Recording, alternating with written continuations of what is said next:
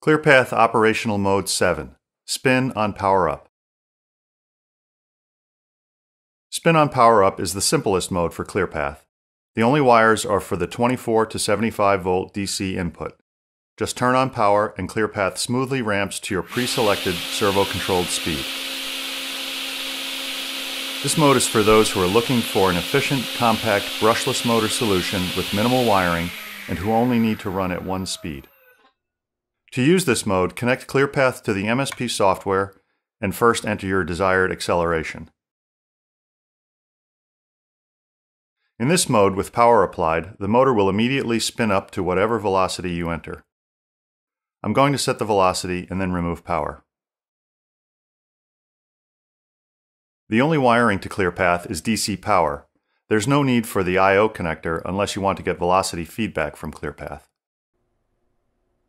With an acceleration of 600 rpm per second and a velocity of 1200 rpm, it'll take 2 seconds to accelerate to the set velocity once I apply power.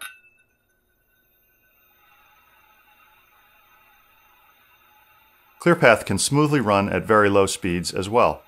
Let's change the velocity to one half a revolution per minute.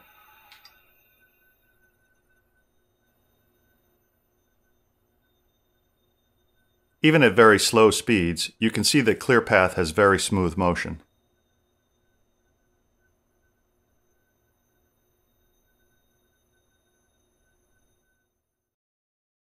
If you need more than one speed, but still maximum simplicity, you should check out the mode called Ramp Up Down to Selected Velocity.